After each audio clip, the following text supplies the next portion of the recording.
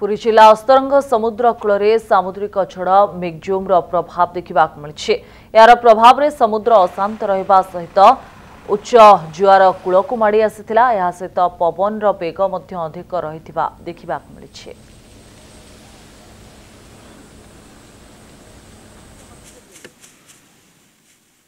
ସାମୁଦ୍ରିକ ବାତ୍ୟା ମୋଗଜାମ୍ ଅସ୍ତରଙ୍ଗ ଉପକୂଳରେ ତାର ଅ, ପ୍ରଭାବ ଏକ ପ୍ରକାର ଆରମ୍ଭ ହୋଇଯାଇଛି। ଆପଣମାନେ ଦେଖିପାରୁଥିବେ ଅସ୍ତରଙ୍ଗ ଉପକୂଳ ଯେଉଁ ଡାଳକୁଣି ନିକଟରେ ଆମେ ରହିଛୁ ଏଠି ପାଖାପାଖି ତିରିଶରୁ ଚାଳିଶ କିଲୋମିଟର ବେଗରେ ପବନ ବହୁଛି ଏବଂ ମୁଁ କ୍ୟାମେରା ପର୍ସନକୁ କହିବି ମୋ ପଛରେ ସମୁଦ୍ରକୁ ଦେଖାଇବେ କେତେ ଜୋରରେ ଏ, ବଡ଼ ବଡ଼ ଲହଡ଼ି ମାଡ଼ି ଆସୁଛି ମାନେ ଉପକୂଳକୁ। ଦେଖିପାରୁଥିବେ ସମୁଦ୍ର ଏକ ପ୍ରକାର ଫୁଲିକିରି ରହିଛି।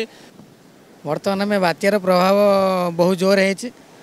ଆଉ ପବନର ବେଗ ଯାହା ହେଲେ ବି ଚାଳିଶରୁ ପଚାଶ କିଲୋମିଟର ଭିତରେ ଅଛି। ଆଉ ସମୁଦ୍ର ଅଶାନ୍ତ ହୋଇସାରିଛି।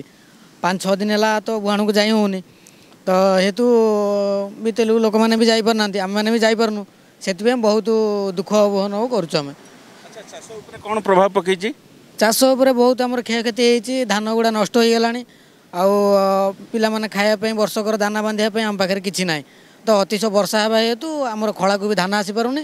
ବହୁତ କ୍ଷୟକ୍ଷତି ହେଇଛି ସେଥିପାଇଁ ଆମେ କିଛି ସରକାର ପାଇଁ ଅନୁମତି ମାଗୁଛୁ ବର୍ତ୍ତମାନ ଆମେ ସାହାଯ୍ୟ କରନ୍ତୁ କିଛି ଆଚ୍ଛା, ଯେଉଁ ପବନର ବେଗ ଦେଖୁଛନ୍ତି ପଚାଶ କିଲୋମିଟର ପାଖାପାଖି ରହିଛି ଧାନ ଫସଲ ଉପରେ କ'ଣ ତାର ପ୍ରଭାବ ପଡ଼ୁଛି ଯେହେତୁ ପାଚିଲା ଧାନ ଅ, ଚାଷ ଜମିରେ ରହିଛି ବର୍ତ୍ତମାନ ଆମେ ପାଚିଲା ଧାନ ବହୁତ ଘରକୁ ଅମଳ କରିବା ହେତୁ ସେଗୁଡ଼ା ନଷ୍ଟ ବି ହେଉଛି ଅମଳ କରିବା ଅମଳ କରିବା ନେଇକରି ହିଁ ଆମର ନଷ୍ଟ ହୋଇଯାଉଛି ମ, ରାତିରେ ବର୍ଷା ହେଲା କାଟିକିରି ପକେଇଥିବାରୁ ସେତେ ପୁଣି ନଷ୍ଟ ହୋଇଗଲା ପୁଣି ତାକୁ ଆଣିବା ପାଇଁ ଘରକୁ ଉଁ, ପୁଣି ଟାଇମ୍ ବି ଲାଗୁଛି ଆଉ ସେଥିରେ ବର୍ଷା ଯଦି ନ କମେ ତାହେଲେ ଆମେ ଅମଳ କରୁଥିବା ଜିନିଷ ସେଇ ବିଲରେ ହିଁ ଯିବ ନଷ୍ଟ ହେବ।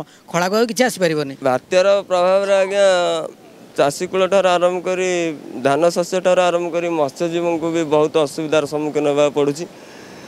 ଯେହେତୁ ପାଞ୍ଚ ଦିନ ଧରି ବାତ୍ୟା ଲାଗି ରହିଛି ତା ଫଳରେ ସମୁଦ୍ର ଅଶାନ୍ତ ରହିଥିବାରୁ ମତ୍ସ୍ୟଜୀବୀମାନେ ସମୁଦ୍ର ଭିତରକୁ ବୁହାଣ କରିବାକୁ ଯାଇ ପାରୁନାହାନ୍ତି।